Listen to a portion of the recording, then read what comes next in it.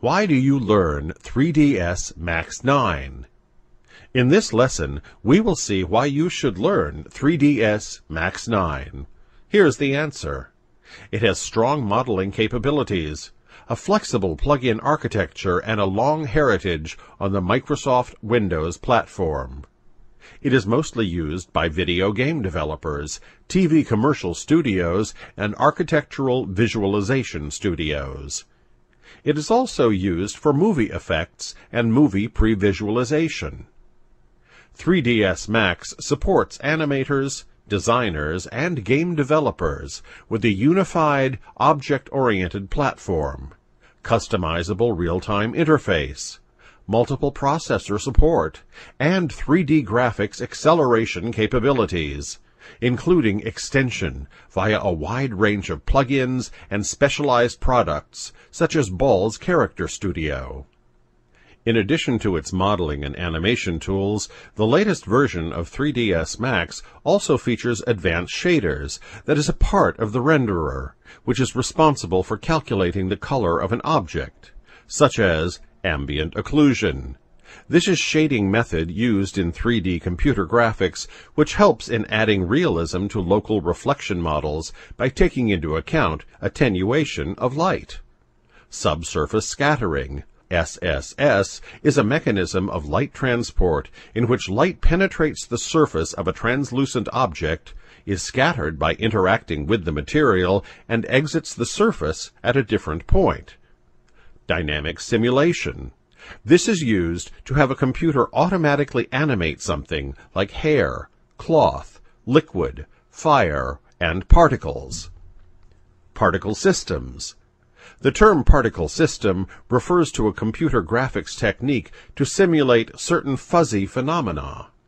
Examples of such phenomena which are commonly replicated using particle systems include fire, explosions, smoke, flowing water, sparks, falling leaves, clouds, fog, snow, dust, meteor tails, hair, fur, grass, or abstract visual effects like glowing tails, magic spells, etc. Global illumination. This is a general name for a group of algorithms used in 3D computer graphics that are meant to add more realistic lighting to 3D scenes. Radiosity, a global illumination algorithm used in 3D computer graphics rendering.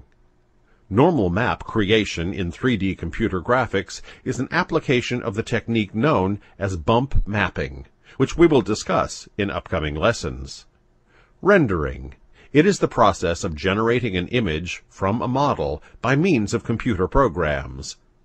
An intuitive and fully customizable user interface and its own scripting language.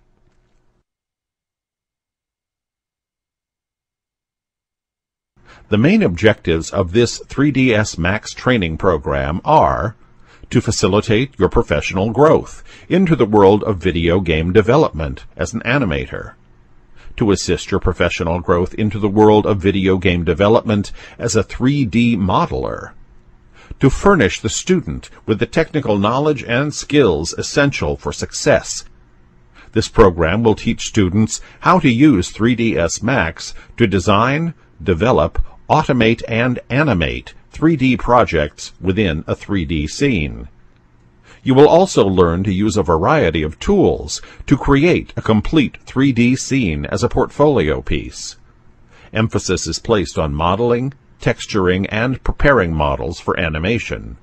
Once you have mastered the fundamentals of modeling 3D objects, you will learn 3D animation.